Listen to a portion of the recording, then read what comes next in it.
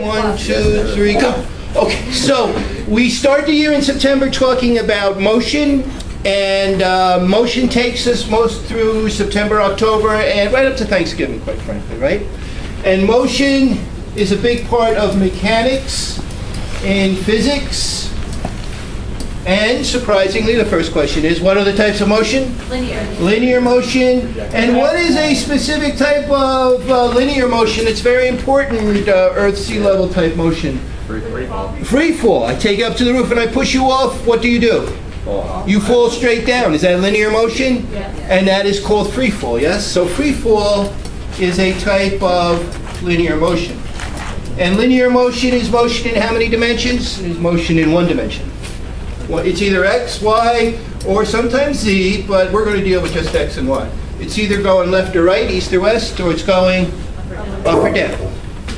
And then the second type of motion was projectiles, and that's motion in two dimensions, usually x and y. I throw you a baseball, is it only going straight at you?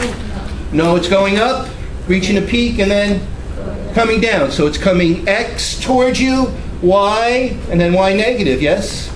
Okay. What's the third type? UCM. So UCM is circular motion. Centripetal, centrifugal, okay. And then what was the last one? And as soon as we see SHM, we think of the old grandfather clock. Yes, back and forth, back and forth, back and forth. Where's the velocity maximum? At equilibrium, and the velocity is zero. Okay. So all that stuff takes most of fall into early winter. This linear is what we started the year with. So this video, we want to talk about linear motion and free fall. Okay. So the first thing we're going to talk about is uh, measurements. And under measurements, we got scalar versus vector. And there's a lot of ways to break up measurements. There's a billion ways. But in early physics, all we really care about are scalar versus um, vector.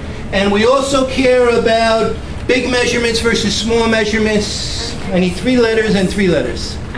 MKS, Rachel, versus CGS. All right. So scalar versus vector. Distance, speed, time, mass are all scalars because all you need is a number or a magnitude, Stephen, right? Right? So if I uh, go to Cape May, 150 miles south, and then come back to Hawthorne, what's my distance? Distance. 300. Agreed? What is my displacement, Danielle? If I go to Cape May and come back, my displacement is? Zero. Yes, that's correct. All right. So distance is a scalar. Speed is a scalar. Time and mass are scalars. All we care about is a magnitude, a number. Okay? If you're driving on 208 and you're doing 40 miles an hour, that's a scalar. What would make that 40 miles an hour a vector?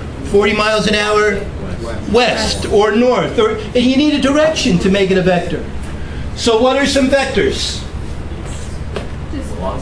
Velocity is a good uh, vector. What's another vector? Displacement. Displacement. What's another vector?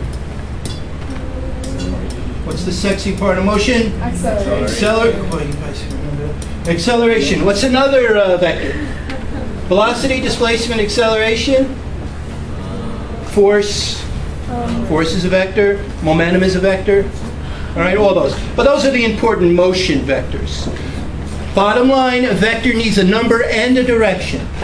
Um, a a um, scalar just needs a number. Agreed? MKS stands for what? Meters, Kilometers, seconds. kilometers, and seconds? No. CGS. No, no, no. Kilograms. Kilograms. Gotta edit that out. Meters, kilograms, seconds. CGS stands for Centimeters. centimeters, grams, Seconds. That says grams and seconds. So let's talk about linear motion. So linear motion. Um, what are the three critical equations? How many critical equations are there? Three. There are three. And what are they? Oh, Off the top of your head, don't look them up, you should know them by now. VF, Equals VI plus AT. Plus AT. thank you. VF squared, VI squared, and lastly, Thank you. And of all those factors, there is only one scalar, and that's that one factor that's a scalar is time. Everything else is a vector. And what is the difference between vector? Okay, so let's do a quick problem. The quick, quicker we get into problems and not listening to me talk, the quicker we understand this stuff. Let's say you start here. You go six units east, you go three units south, Stop that. Three units south. Then we go nine units west. Are we good? Yeah. Then we go um, three units north. And I end right there. So there's my start and there's my end. And I do that in a time of four hours. Okay? I want to know distance. I want to know displacement. I want to know velocity. And I want to know speed. Which of these, four hours. Which of these four are scalars? Distance and speed are scalars, therefore all we need is a number. So what is my distance? Uh, 6, 3, 9, 13, and 3. What is my distance? 21 units. Do we care about which way we went? No. I think not. Therefore, what is my speed? And speed is a scalar. All I need is a number. I, I don't care about whether I'm going left, right, east, west, north, south, right? right? 21 over 21 over 4 units per hour.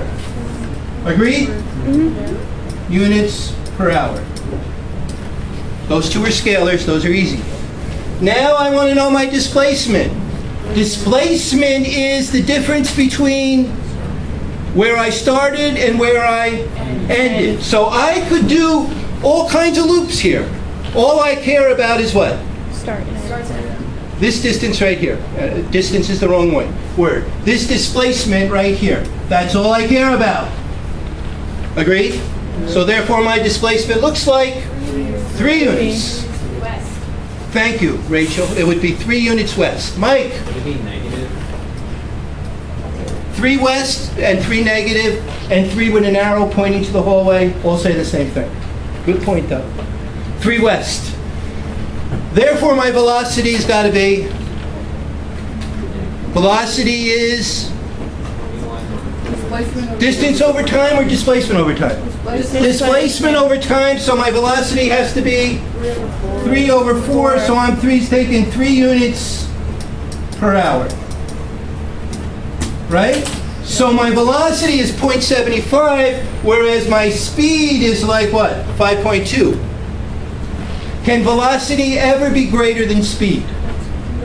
Impossible. It can either be equal to or Less. less. Can you move all day long and have a zero velocity?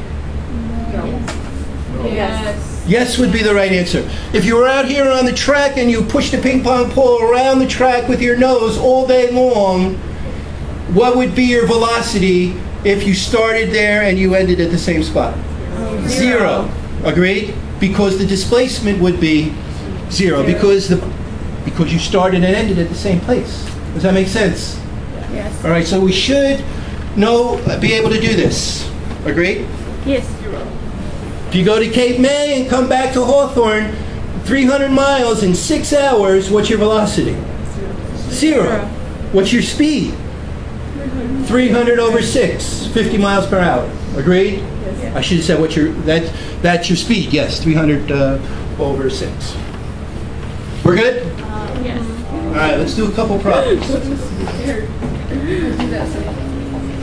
And before we go any further, and, and this will become obvious as we start doing the problems, by convention, going to the right is positive. Positive. Going up is, Positive. going down is, Negative. and going to the left is. Negative. I'm not going to spend a lot of time talking about that, but as we start doing problems, it'll make sense. The, the uh, sign in physics is a direction. It is not part of a number line. What's moving faster, something at minus 3 meters per second or something at 3 meters per second? They're moving at the same speed. One is moving To the east. Which one is moving to the east? the pause. 3 meters per second. And which one's moving to the left? The negative. Negative 3. They're both moving at the same speed. Don't tell me minus 3 is less than 3. This is not math. This is physics. That negative sign just means direction. Okay, so let us say that a ball approaches a hill with an initial velocity of 5 meters per second. It's on the hill and has an acceleration of minus 2 meters per second squared. Okay? I would like to know when does it stop? T sub s, when does it stop? Okay? Now this is a complex for a first problem, but let's see how we do. So which side of the hill is this ball on? The left side or the right side? It's a tedious thing, but it's important for physics direction. It's on- the left side. it's moving at five meters per second, it's moving That to the right, and the problem says it's approaching the hill. Mm-hmm. So it's got to be over here.